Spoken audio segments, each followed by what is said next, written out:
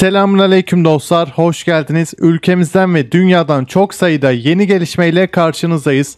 Üst düzey yetkililerin katıldığı Türk Konseyi toplantısı an itibariyle Bakü'de yapılıyor. Bilgi ve medya konulu olduğunu belirtelim. Türkiye'yi temsilen Fahrettin Altun katılıyor.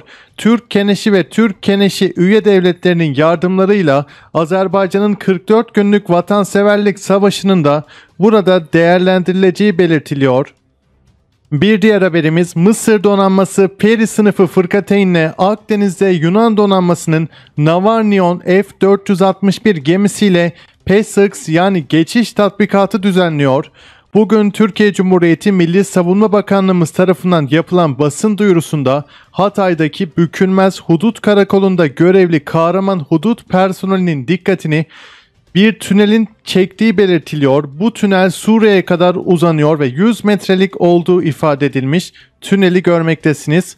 Önemli bir gelişme yaşandı. Sudan ordusu tartışmalı sınır bölgesi boyunca yapılan son çatışmalarda yakaladığı 50'den fazla Etiyopyalı esiri pazartesi günü Gallabat sınır kapısındaki Etiyopya ordusuna teslim edeceğini açıkladı. Yine Tunus Dışişleri Bakanlığı tarafından yapılan açıklamada Mısır ve Sudan'ın Etiyopya'daki Nil Barajı krizinin sona ermesini müzakere etme çabasını destekliyoruz açıklaması yapıldı. Bugün USS Ross DDG-71 kodlu Destroyer Cebeli Tarık'ı açtı. Karadeniz'e gelmesi bekleniyor. Yine meşhur Rus gazetecilerden birisinin Donbas'a geldiği belirtiliyor. Her şey 20 Nisan işaret ediyor şeklinde değerlendirme yapılmış. Farklı düşünenler de var. Öncelikle şundan bahsedelim. Bugün Rusya Federasyonu Savunma Bakanlığı tarafından yayınlanan videoda Rusya Federasyonu sınırına yaklaşan Amerikan uçağının durdurulmasına ilişkin video yayınlandığı belirtiliyor. Burada önleme uçuşu yapıldı. Yine Ruslar 2. Dünya Savaşı zaferinin 76. yıl dönümüne adanmış askeri geçit töreninin ilk provasında Rus Hava Uzay Kuvvetleri'ne ait 4 adet Su-57 uçağını uçurmuş bulunuyor. Uçakların Moskova yakınlarındaki Alabino üzerinden uçtuğu ifade edilmiş. Bir diğer haberimiz 2019'dan itibaren Doğu Ukrayna'da Rusya vatandaşlığına kabul edilen pasaport verilen kişilerin 650 bini bulduğu ileri sürülüyor. Moskova müdahalesini bu kitleyle gerekçelendiriyor.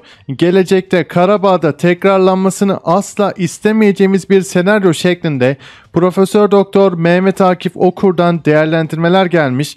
The Guardian'da bununla ilgili bir analiz haber yapıldığını belirtelim. Bir iddiayı görmektesiniz. Ukrayna umarım yanılıyorumdur ama savaşın başlamasını bekliyorum. Önümüzdeki 48 saat içerisinde bir paylaşım yapılmış. Bu yüzden bugün bir harita hazırlıyorum. Genel durum mavi işaretçiler bilinen NATO yanlısı takimatlar, kırmızı işaretler bilinen Rus yanlısı takimatlar, sarı çizgi ise iletişim hattı şeklinde bir harita paylaşmış. Burada NATO kuvvetleri geçen hafta çok sayıda zırhlı aracı temas hattına sevk etti. Yine Türk TB2 insansız hava araçları görüntülendi. Karşılıklı silah sevkiyatı devam ediyor şeklinde bir varsayımda bulunmuş. Yine İtalyan Havacılık Radar izleme sitesinin 10 Nisan tarihli radar kaydına göre ABD güçleri için Karadeniz üzerinde bir başka gözetim görevi günü başlığı kullanılmış. İtalya'nın Signolia üstünden ayrıldı ve şimdi resimde görülebileceği gibi Gürcistan üzerinde uçuyor. Hatırlarsanız istihbarat ve keşif için kullanılan bu insansız hava araçları 2. Karabağ sırasında da Azerbaycan sınırında uçmuş ve uçuş yaptığı günler Azerbaycan'ın şehitlerinin arttığı iddia edilmişti. Yine Amerikan ordusuna bağlı EP-3 tipi elektromanyetik sinyal keşif uçağının Karadeniz üzerinde uçtuğu belirtiliyor. İlginç bir şekilde çağrı işareti olarak Ruslara mesaj olsun diye AK-47 çağrı işareti kullanılmış. Amerikalılar burada trollemeye çalışmışlar. Uçağın Yunanistan Suda üstünden kalktığı belirtiliyor. Yine Boeing 8 anında İtalya'dan ayrıldığını belirtelim. Her iki uçak da bu dakikalarda Karadeniz üzerinde istihbarat ve gözetim görevi gerçekleştiriyor. Yine bir ABD Hava Kuvvetleri'ne ait C-17A Global Master 3 nakliye uçağının pistte alev aldığı belirtilmiş. Olay Cuma günü gerçekleşti. Yine Dışişleri Bakanımız Mevlüt Çavuşoğlu, Mısır Dışişleri Bakanı Sami Şükrü ile telefon görüşmesi gerçekleştirdi. Diplomatik kaynaklardan edinilen bilgiye göre Çavuşoğlu mevkidaşı Şükrü ile Ramazan ayını tebrik etmek amacıyla görüştü şeklinde paylaşılmış. Yine aslen Karabağlı olan Azerbaycan milletvekili geçen gün Han kentine ofisimi açacağım diye tweet atmıştı. Dün Ermenistan parlamentosunun Dışişleri Departmanı'nda çalışan kadın bir memurun Azerbaycanlı vekile cevap verdiğini görmekteyiz.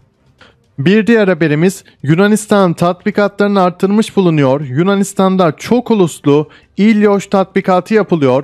Andrevadia bölgesinde yapılan tatbikata Yunanistan, Güney Kıbrıs Rum yönetimi, Kanada, Fransa, İspanya, İsrail, Birleşik Arap Emirlikleri ve Amerika fiili olarak katılırken gözlemci olarak katılan ülkeler ise Avusturya, Mısır, Ürdün, Romanya ve Slovanya'nın gözlemci olarak katıldığı belirtilmiş. Bir diğer haberimiz Pakistan 2040 yılına kadar 23. büyük ekonomi olacak Global Trends raporu Asya'daki çoğu nüfuslu ülkenin dünyanın en büyük ekonomiler arasında konumlandığını gösteriyor. Yine kardeş ülke Azerbaycan'ın Laçin Han kenti yolu üzerinde kentin girişinde bulunan Şuşa yazısının yenilenerek bu bölgeye dikildiği belirtiliyor. Yine Alaska'daki Eielson hava üssünde bulunan ABD Hava Kuvvetleri'nin 354. Avcı kanadına ait 25 F-35A savaş uçağını görmektesiniz.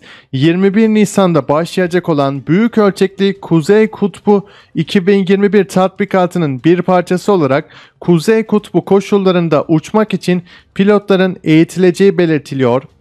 Yine bir uydu kaydı görmektesiniz. Son dakika şeklinde paylaşılmış. Çin'in Liaoning uçak gemisi bu sabah Güney Çin denizine girdi şeklinde uydu görüntüsü paylaşılmış.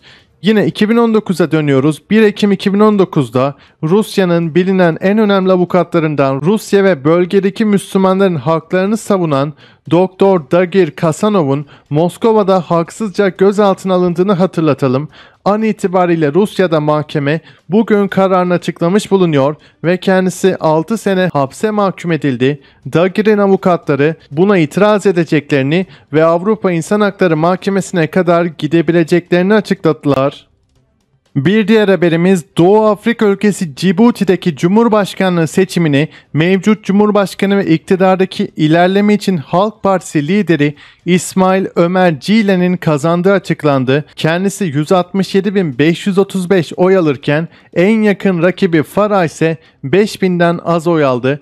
Son haberimiz İtalya'nın eski Ankara Büyükelçisi Marsili, İtalya Başbakanı Draghi'nin Cumhurbaşkanı Erdoğan'a yönelik ifadeleri sebebiyle iki ülke arasında yaşanan diplomatik krize şaşırdığını, Türkiye'yi diktatörlük gibi tanımlanacak bir ülke olarak görmediğini açıkladı. Kendisinin Anadolu Ajansı'nda röportajı yayınlanmış. Dilerseniz oradan tamamını okuyabilirsiniz. Evet dostlar videomuzun sonuna gelmiş bulunuyoruz. İzlediğiniz için teşekkürler. Bir başka videoda görüşmek üzere. Allah'a emanet olun. Hoşça kalın.